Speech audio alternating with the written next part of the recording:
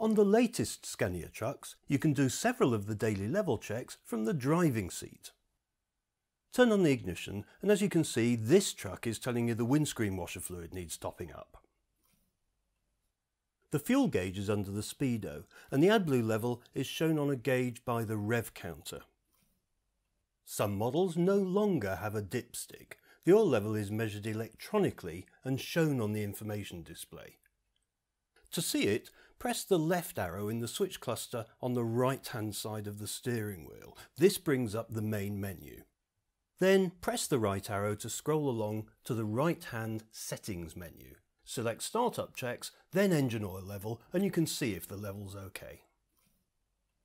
Open the front grille using the catch on the driver's door pillar.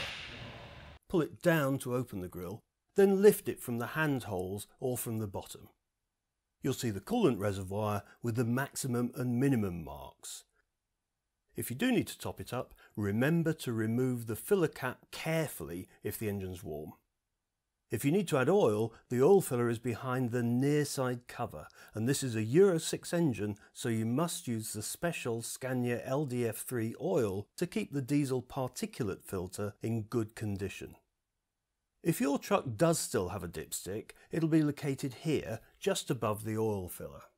It's important to remember to close the side panels before you close the front grille, which you do by pulling down on the centre strap. Get the panel to about this position, then simply let it drop. There's no need to slam it, the panel will close and lock itself in place. To get up to clean the windscreen and check the wiper blades, you need a step, and there's one built in, just below the main grille.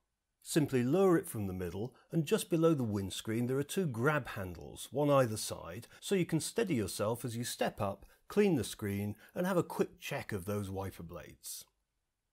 To close it, just fold it upwards. There's no lock, once closed it holds itself in place. The washer fluid is checked electronically and that message on the dashboard told us we need to top it up. The filler is by the passenger doorsteps and there's a handy pull-out spout to avoid spilling fluid on the step.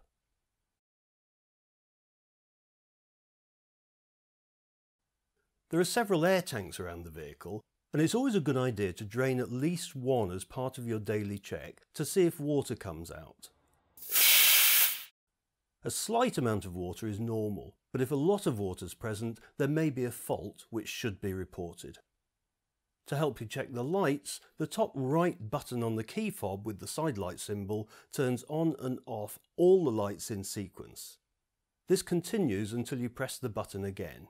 So, levels and lights are easy to check and you can carry on with the rest of the daily walk around vehicle inspection.